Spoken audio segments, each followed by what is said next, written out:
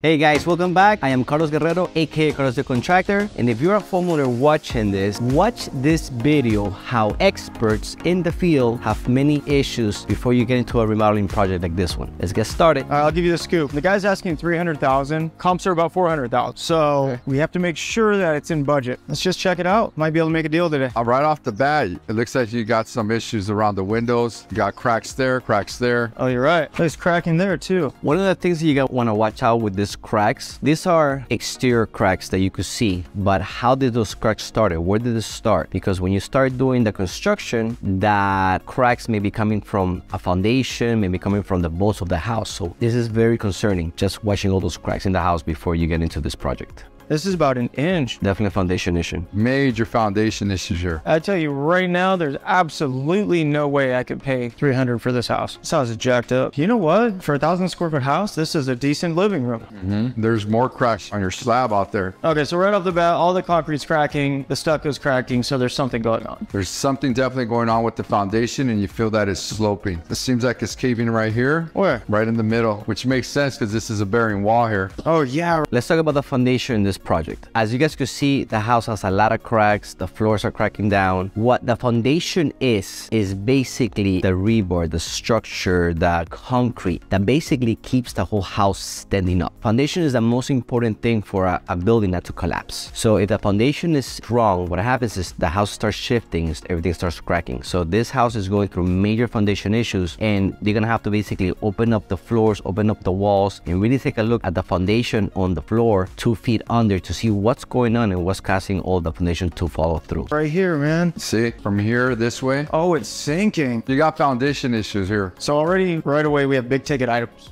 Mm -hmm. Foundation repairs are going to cost at least 12 grand. Mm -hmm. He's just guessing. There's no way that he's going to throw a number like that. The only way to get a real number of how much it's going to cost is basically exposing the floors, opening up and having somebody take a look at the foundation and see what is the scope of work that's going to come out and get a price because there's no way that you're going to throw a number out there and, and guess the number. So that is going to be a big surprise later down the line. Let's check it out. Based on the existing layout, the kitchen's going to cost about $7,000. Mm -hmm. Look at this. Oh, wow. All of that has termite, it's dry rotted, and you got some plumbing issues on top of your foundation issues. Sounds like we might need a repipe here. What do you think it's gonna run? Because it's a raised foundation, about a thousand square feet. A repipe will run you about 3,500. So it's getting expensive already. Yeah. Oh my God. So on top of foundation, on top of plumbing, looks like you have some roof issues as well. This is really bad. Like all, all the all the the guts of the house, the bones of the house, everything's roof. Not only they have foundation issues, but they also have roofing issues. Whenever you see the roof falling, the drywall falling, is because at some point the house had water damage, water's going through the roof and it's causing the drywall to basically drop. So now they have to fix the foundation and they have to fix the roof. And now what they don't show and what you cannot see right now is between the drywall and the actual roof, you have what's called attic space. So in between the attic space, you don't know if the trusses are rotten. The trusses are basically the structure of the house that basically holds everything together in the roof. So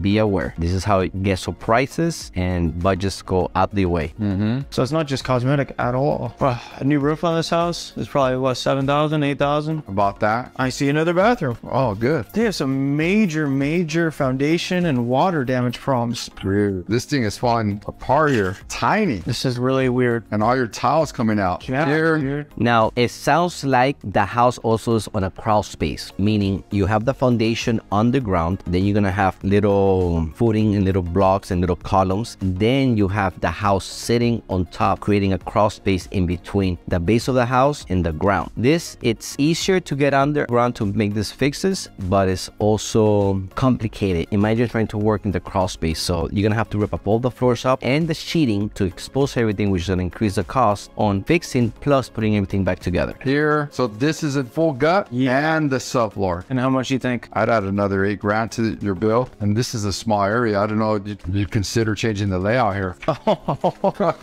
so there's your your uh, heater. You think it works? Yeah. and it smells like gas. Yes, it does. So you got to add a new heater now. They definitely want to change the layout. I mean, that's the first thing you want to do. If you're going to go through a major remodeling like this, you have to change the layout to make things more appealing to you or to the person you're going to sell the house to. Definitely change the layout. Too small. Well, the owner said it needed a little bit of work, but he didn't mention the house literally falling apart.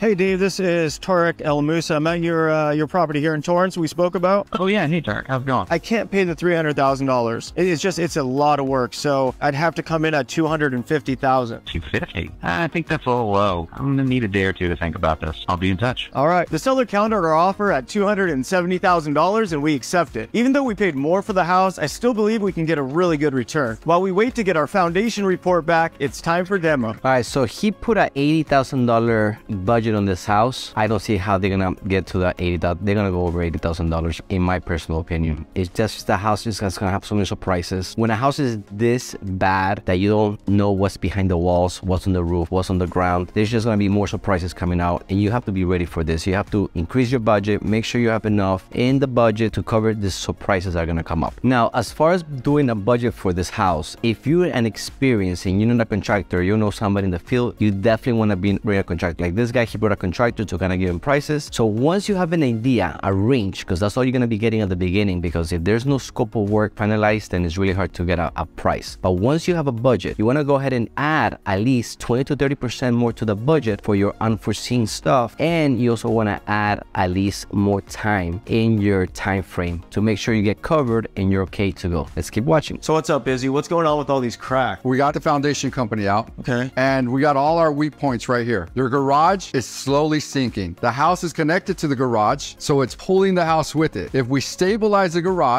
it'll keep the house from pulling away. We're gonna have to put at least four piers so that we can stabilize this side of the house. What's that gonna run? You're looking at about 3,500 each one. Wow, really? Our initial $80,000 budget just went up. The problem that his budget is based on cosmetic stuff, making the house pretty so he could flip it. See, he's an investor. What he wants to do, if he wants to do it quick in and out and flip it. You as a homeowner, you want to make sure that you do the house right. You want to make sure that your house is going to last you for many years to increase the value in the house and have equity and asset. When you go and sell your house, you get your money back. So it is very, very, very important that when you have a house in this bad shape, you have to add 30, 40% in your budget just for the surprises that are going to come up. He's a very experienced guy and the fact that he undervalued gives me a, how much experience do you really have? But he's very experienced, so can't say anything. $14,000. We own this house, and at this point, we have no It- other it is option but to TV, fix the so- foundation. And on top of all, even though this guy's experienced, you see how an expert goes under the budget. That's why for you guys, have a fair enough budget, get maybe two or three contractors out there to give you a general price and then add to your budget just to be safe. find out if we need a new roof. We're gonna do a water test on there. How are we gonna do that? I got a guy up there. We pour water on there. Are you serious right now? Let's throw some water on there, and see what. this guy. If you're gonna do a water test, you gotta get a hose, not a bucket. Come on, guys. This is like chapter one, a bucket of water.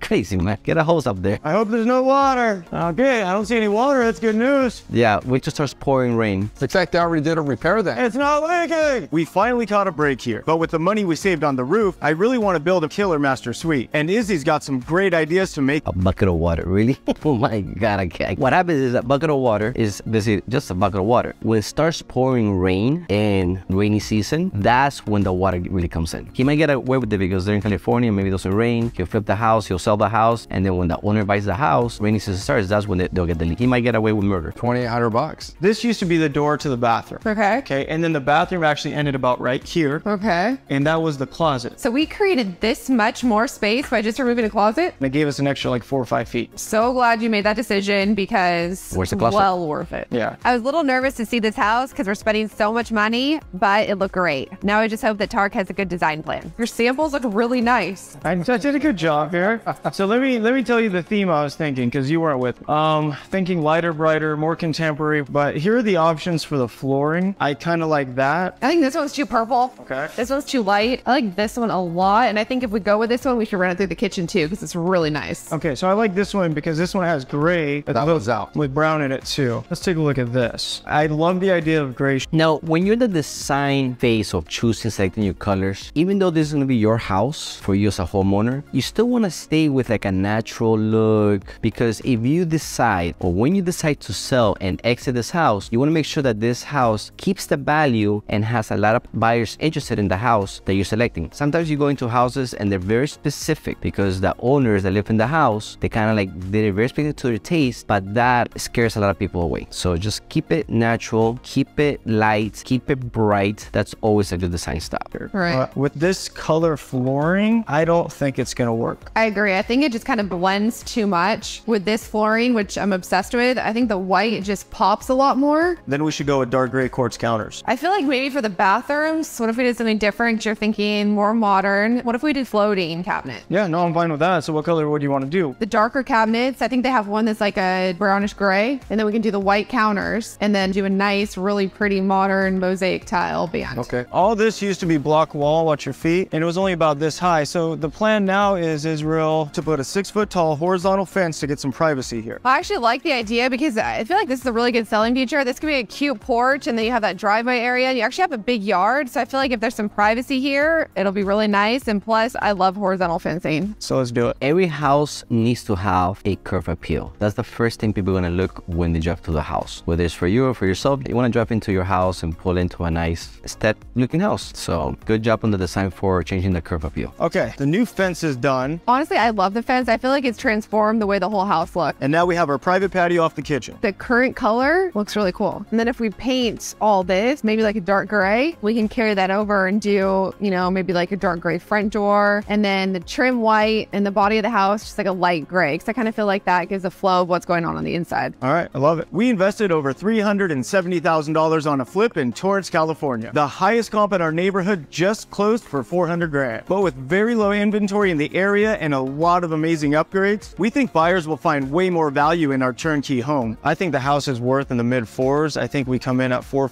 449.9. I actually think we're going to get offers. I think we might sell for full price, but I'm concerned about the appraisal because if the appraiser uses the 400 comp, we're in big trouble. Well, all we can do is list for 449.9 and see what happens. So as you as a homeowner, right, if you're gonna renovate your house, remodel your house, you're buying a house to do it for yourself, you don't really have to worry about the sell value because most likely you're gonna be in this house for five, ten years. And by that time comes, you already build enough equity to pay that back and more. But it is really important to make the right decisions and make the right repairs, the structurally foundation roof. So that is the shelf of your house and it's very important, not just for the house to last, but also for safety. Safety first, then make the investment on the pretty stuff, on creating the layout. In this particular house, it had a lot of safety issues that I would have been afraid. I don't know how they fixed the issues, but they fixed it. They went over budget $20,000, which is not bad the way the house was shown at the beginning. So let's see what happens. Okay, look at this. Amazing. Look how cute it looks staged. Oh, look at the shelving. Buyers gonna be obsessed with that. It gives it like a really cute homey feel. Yeah. Definitely a showpiece. All the other houses out there, they're really cookie cutter. At least with this house, there's some character. So I think we did a lot of good things here. I want to see the master bathroom. So when you sell a house, you want to make sure that you stage the house. That staging is gonna make that whole house feel a lot